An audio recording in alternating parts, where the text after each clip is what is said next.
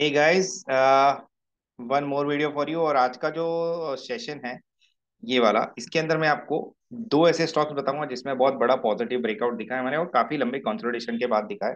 तो शायद आपको थोड़ा अपस्विंग में और कमाने में थोड़ा हेल्प हो जाए। तो आपको जो दो स्टॉक लेके जाने हैं नेक्स्ट वीक के लिए या तो पंद्रह दस दिन के लिए देखो ट्रेडिंग करने का मेन पर्पस पैसा बनाना होना चाहिए भले और ज़्यादा ट्रेडिंग करो कि कम ट्रेडिंग करो। कोई पोजीशन बनाओ उसको छोड़ दो दस बारह दिन के लिए और उसमें आपको अच्छा स्विंग दिखेगा। जैसे मैंने एक्सिस कहा था आपको चार रुपए के स्टॉप लॉस से। अगर आप लेके गए हो तो ए, आपको eight seventy one eight seventy two अगर नेक्स्ट सेशन है तो डिविएशन के हिसाब से एट एट्टी फोर तो मुझे मिनिमम बैरियर उसका दिख रहा है। कोटक में थोड़ा ब्रेकडाउन आया है बट ठीक है, नीचे से फिर से ऊपर आ गया अगर दिन के लो पे जाके बंद होता तो हम उसको कह सकते थे कि ब्रेकडाउन हुआ है बट ऐसा कोई ब्रेकडाउन हुआ नहीं है, ठीक है? उसके बाद एच बैंक में भी सेम दिखा। नीचे से वापिस ऊपर आ गया। एसबीआई में भी सेम चीज़ दिखी। आईसीसी में भी सेम चीज़ दिखी। मतलब बैंक निफ्टी में करेक्शन पेस थोड़ा कम है। मुझे अपसाइड पंद्रह सौ रुपए लग रहा है, पंद्रह सौ पॉइंट लग रहा है, नीचे चार सौ पॉइंट लग रहा है। तो आपको बड़ा फेस कौन सा लग रहा है? चार सौ पॉइंट स्टॉप रखे अगर आपको पंद्रह सौ मिल रहे तो आपको बड़ा गेम खेलना चाहिए अपसाइड के लिए, ठीक है? अभी जो दो स्टॉक के बारे में बता रहा हूँ, उसके मैं पूरी डिटेल देता हूँ। मैं बात कर रहा हूँ श्रीराम ट्रांसपोर्ट फाइनेंस कंपनी की, ठीक है? आप नोट डाउन कर लेना, इसका 52 वीक हाई है। 1696 और 52 वीक लो है 1002 और बहुत ही बड़े कंसोलिडेशन के बाद इसमें बड़ा ब्रेकआउट दिखा है। आपको ये लेके डेफिनेटली जाना चाहिए 10 से 12 दिन के लिए या तो पाँच दस दिन के लिए, क्योंकि हाई बीटा स्टॉक है, शायद ज़्यादा रिटर्न आपको तुरंत मिल जाए। तो ये मारे मैं खाली एजुकेशन पर्पज के लिए शेयर कर रहा हूँ, ठीक है? सो मुझे लग रहा है ये ऊपर जाएगा, इसलिए मैं आपको बता रहा हूँ। तो आपको यहाँ से मिनिमम 25 से 30 पॉइंट का स्टॉप लॉस लगाना है। Stop loss mean stop loss उसमें कोई करेक्शन नहीं होना चाहिए। और आपको जो स्विंग मिलेगा, आपको जो स्विंग मिला यहाँ से, आपको स्विंग मिलना चाहिए मिनिमम 70 से 80 पॉइंट का मुझे यहाँ से स्विंग दिख रहा है। ठीक है? दूसरा जो स्टॉक है जिसमें आपको स्विंग मिल सकता है वो है इंडसेंड बैंक क्योंकि बहुत ही बड़े करेक्शन पेस के बाद एक कंसोलिडेशन के बाद। ठीक है? वो वो भी बहुत हाई बीटा स्टॉक है बट कोई भी स्टॉक ज़्यादा देर तक दबा हुआ रहता है तो किसी स्टॉक में अगर हाई बीटा स्टॉक है तो वो ज़्यादा देर दबा रहने के बाद उसमें मूवमेंट बहुत स्पीड में आती है। ठीक है? और ऐसा हमने कई बार देखा है तो ये श्रीराम ट्रांसपोर्ट फाइनेंस और ये इंडसइंड बैंक दोनों एक ही पैटर्न के स्टॉक हैं। अगर आप ट्रेस करोगे तो आपका आइडिया आ जाएगा। ये मेरे वॉटलिस्ट में रहता नहीं है बट कभी कभी मैं इसमें नज़र मार लेता हूँ। ठीक है, और एक मेरे रडार में है टीसीआई एक्सप्रेस वो भी बहुत अच्छा ब्रेकआउट दे सकता है बट अभी कंसोलिडेशन के फ़ेज़ पे आप उसको वॉच लिस्ट में रख सकते हो। तो ये जो दो स्टॉक्स तीन स्टॉक्स मैंने बताए, उसमें से दो स्टॉक है इंडसेंड बैंक और दूसरा है श्रीराम ट्रांसपोर्ट फाइनेंस।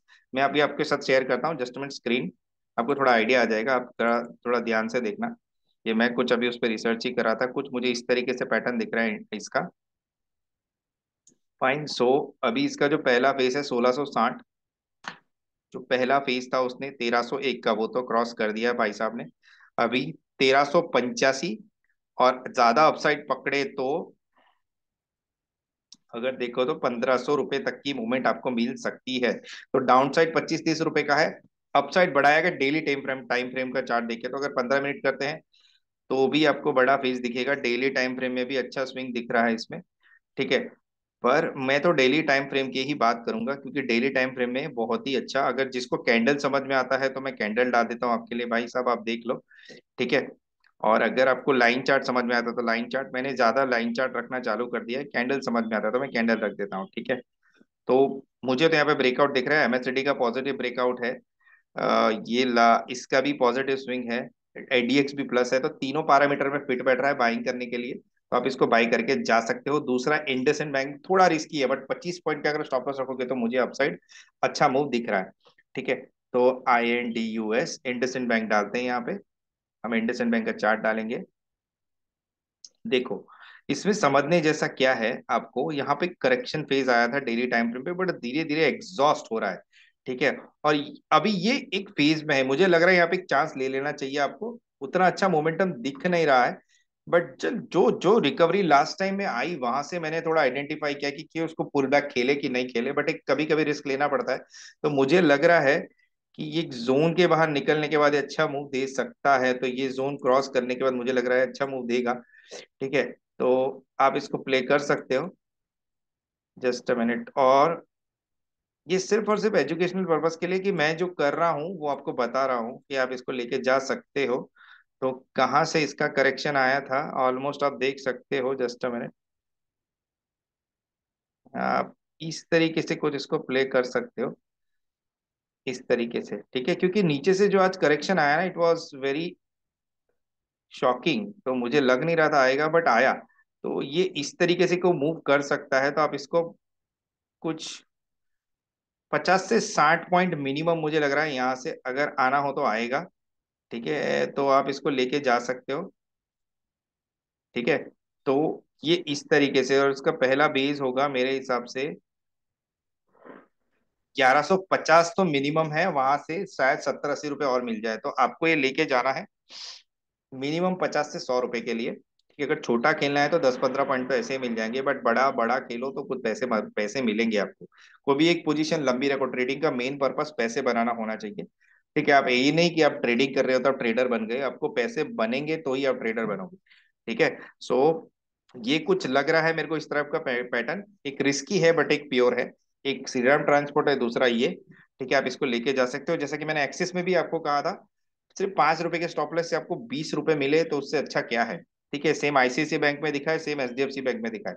तीनों, चारों स्टॉक नीचे से रिकवर हो गए। तो बैंकिंग बैंक निफ्टी में और एक चीज़ मैं बता रहा हूँ आपको एड ऑन कर रहा हूँ एडवांटेज दे रहा हूँ आपको, कि बैंक निफ्टी में 400 पॉइंट के स्टॉप लॉस के साथ आपको 1500 1600 पॉइंट अपसाइड का मिल सकता है, जो डेविएशन और ढांचा दिख रहा है उस हिसाब से। और निफ्टी में सिर्फ़ और अठारह हज़ार पॉइंट के स्टॉप अठारह हज़ार के स्टॉप लॉस से मुझे अठारह हज़ार छह सौ, अठारह हज़ार पाँच सौ दिख रहा है। अगर अठारह हज़ार तोड़ेगा तो डेफिनेटली नीचे जाएगा। सत्रह छह सौ, सत्रह, छह सौ पचास, सत्रह सात सौ तक। बट अठारह हज़ार नहीं तोड़ेगा तो अठारह छह सौ आ सकता है। अगर बैंक निफ्टी सपोर्ट करेगी तो। ठीक है हाँ और दो दो, तीन चार्ट के पॉइंट्स स्टॉक के पॉइंट थोड़े गड़बड़ा गए हैं। एक बजाज फाइनेंस और बजाज फिंसो अभी के लिए उनसे दूर रहना। ठीक है सो अगर आप इन्वेस्टर हो ट्रेडर हो तो भी अगर आपको प्रॉफिट बुक करना है तो ये दोनों स्टॉक में प्रॉफिट बुक कर सकते हो, क्योंकि बहुत बड़ा ब्रेकडाउन दिखा है मुझे। खाली मैं जस्ट ओवरव्यू दे रहा हूँ। रखना नहीं रखना आपके ऊपर है। तो ये आज के लिए मेरा था। जो भी डिस्कशन मैंने बता दिया, दो स्टॉक आप डेफिनेटली के जा सकते हो। ठीक है? और दोनों हाई बीटा स्टॉक्स है। तो आपका हाई बीटा स्टॉक्स आपको बहुत अच्छा गेन देके जाते हैं over a period of time ठीक है? So till then take care bye bye और keep learning keep earning and keep sharing as well अगर आपको अच्छा लग रहा है ये सब तो आप दूसरों को भी शेयर कर सकते हो और हाँ पहला आइकन दबा दो ताकि आपको नोटिफिकेशन मिस ना हो, है ना? Thank you very much bye bye